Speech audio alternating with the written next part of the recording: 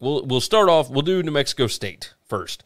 Uh, I want to talk about them for just a minute because they hired Jerry Kill as their new head coach, and eh, you know. eh, Let, let's not dive too deep into this. This team was really bad last year, number 126 in PPA margin, number 124 in net points per drive. Their roster strength right now is number 130 across the board. Number 130 on offense, number 130 on defense. They're number 98 in returning production. But uh, the way that they get there is they are number 130 in returning production on offense, number nine on defense. So they got a bunch of guys coming back on defense, but that is from the number 124 PPA per drive defense in the country. So it's not good. Uh, Jerry Kill, I think, was a home run hire it- because you know that he's going to work himself to the bone to build a good program. I, I would not worry about this season if I'm a New Mexico State fan because this is laying a foundation.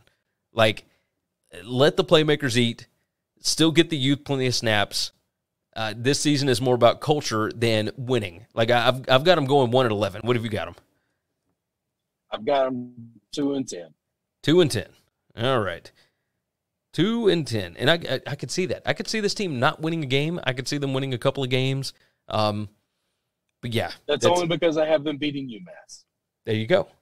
There you go. Um, I've actually got them losing to UMass and beating Lamar. So, all right. Thanks for listening to the Winning Cures Everything podcast. The website is winningcureseverything.com. And if you want to connect with us, we're on Twitter at Gary WCE, at Chris B. Giannini, at Winning Cures, or you can email us, Gary at winningcureseverything.com or Chris at winningcureseverything.com. Subscribe everywhere you need to subscribe, and we'll see you soon.